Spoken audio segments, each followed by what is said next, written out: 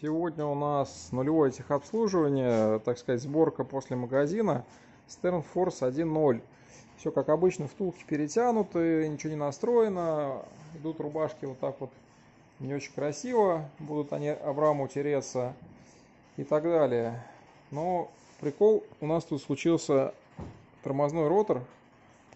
Наверное, сфокусироваться, там видите стрелочка. Стрелочка смотрит в другую сторону. То есть даже тормозной диск поставили кверх ногами. Сейчас мы его полностью соберем и расскажу про все косяки, которые здесь были. Итак, отчет после сборки Sternforce 1.0. Э, перекинули рубашки. Теперь у нас рубашки идут красиво, и они Абраму не трутся вот в этих местах, где видно. Они трутся только вот здесь, но здесь самое минимальное место, которое может быть повреждено. И плюс, соответственно, тросиком становится легче ходить, они вот здесь вот не заламываются, вот в этих вот местах и они здесь нигде не перегибаются и лучше работают.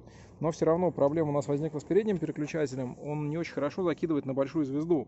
Несмотря на то, что все очень хорошо настроено, все именно по меткам стоит, как-то он туговатенько закидывает на большую звезду. Возможно, длина каретки большевата, не подходит она под эту раму. Может быть, на 2 мм была бы каретка поменьше, закидывал бы лучше. Задний переключатель настроился, работает в принципе адекватно. Здесь у нас осера стоит.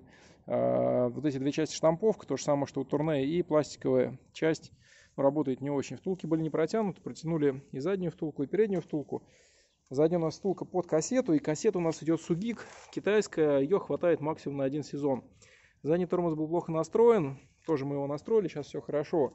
А вот с передним тормозом возникла проблема. Во-первых, ротор стоял кверх ногами. И, во-вторых, он немножко кривоватый, 180-й.